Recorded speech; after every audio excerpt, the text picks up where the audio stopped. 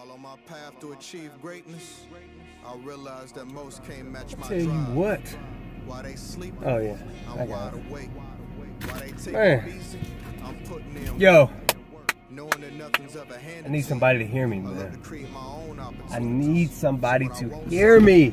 I go and I just got a quick workout. Scared money don't make money, step back to I really didn't necessarily have time for it, but sometimes you gotta make time For the things that mean the most. You time. Time with yourself. Time to reflect. Time to think.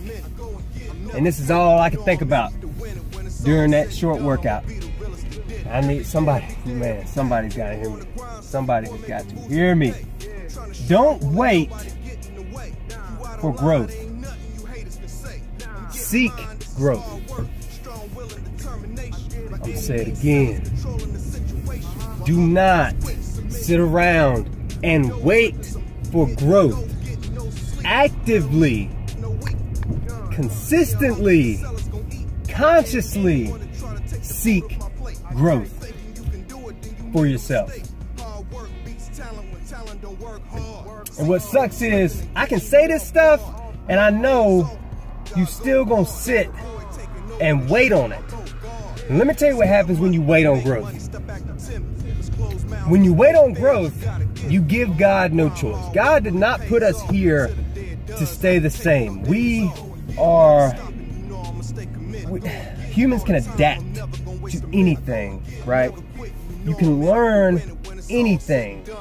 He did not put you here for you to be okay with what you know and where you're at right now.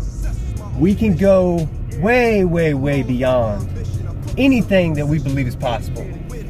And what happens is over time, you sit and you wait thinking growth is automatic. Growth is not automatic. Age is automatic. Time passing is automatic. Growth is not.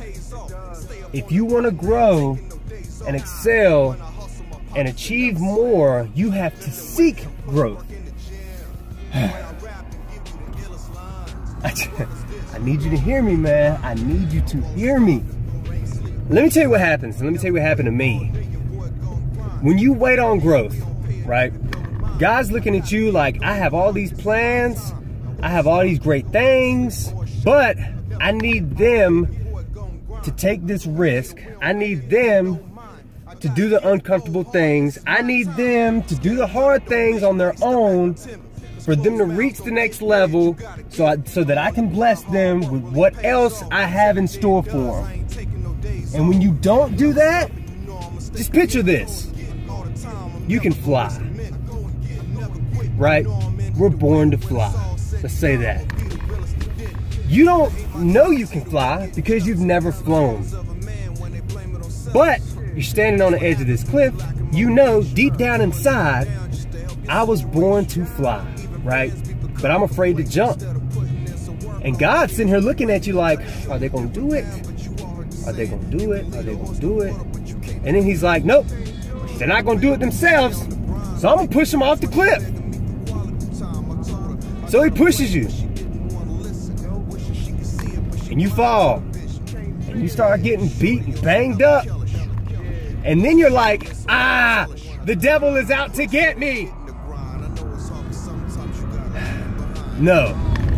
Come to find out, I was pushed and getting beat banged up because God was trying to influence growth through uncomfortable situations, places you've never been before, risks you've never taken. There's growth for you to become who you're supposed to become in order to reach the blessings that you're meant to reach.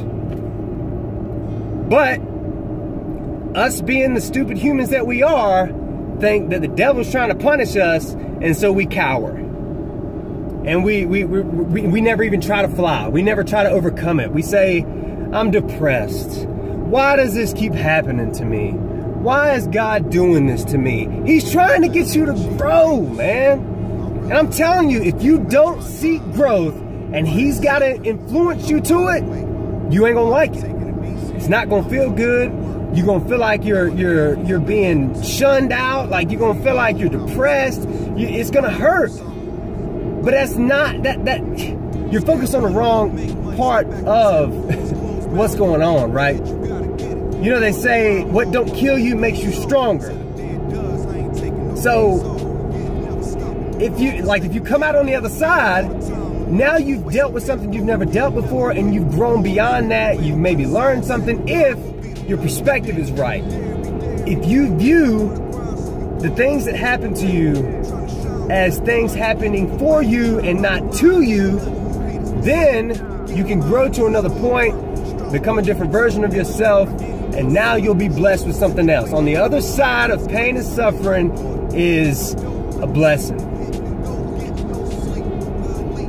I'm telling you, don't wait on growth. Seek growth. Like it kills me, man, because people are on their phones all day long. We have the world's information at our fingertips, and yet we're still ignorant. And yet we're still broke. And yet we still don't know.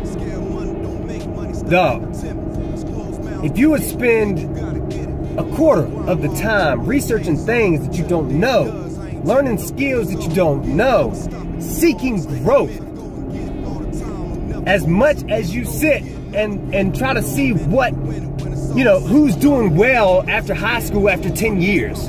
You know what i'm saying? Like whose relationship is good or bad?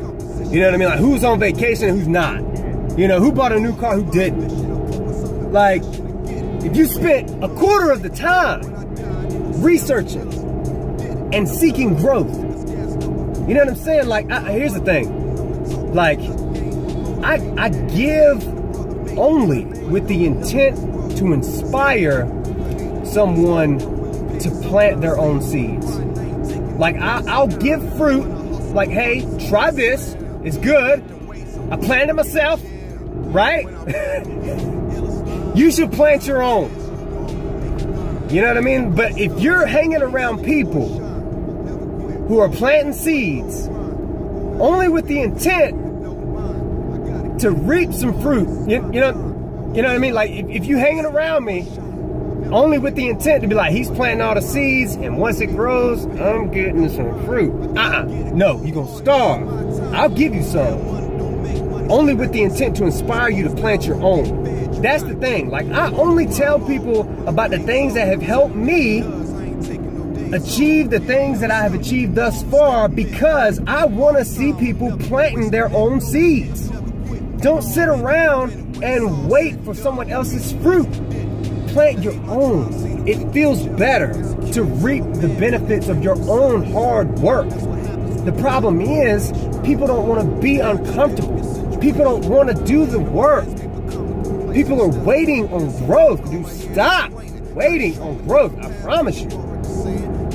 God is going to pull the rug out from under you. You're going to bust your face wide open on the ground and you're gonna pick, uh, why me? Why do you do this to me? Because you sat around for another 365 days and did nothing. Yo, I'm talking to somebody. I am talking to someone. It's not the devil after you. It's God. Like, hey, you know what I mean? God's gonna, boy, I'm telling you, yo. He's gonna pull the rug out from under you and it's gonna hurt. And you're gonna misinterpret what he's trying to do and and and and, and try to play the victim, right? And you're gonna be in the same position you are right now, next year, and the year after that, and the year after that. But when you seek growth, when you attack it, when you go for it, when you look for the uncomfortable situations and put yourself there, you know what I'm saying? Like if you put yourself in front of conflict, you know what's coming. Like it's still gonna hurt. It's still gonna be hard. You still ain't gonna like it, but you at least know what's coming. Versus sitting there and waiting, like, trying to, boom, ah, you weren't ready. Ah, the devil, ah, ah.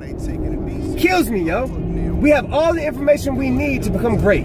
There's plenty of money in this world for everybody to get a piece. You know why there's a majority that have it and a majority that don't? You're sitting around waiting on them.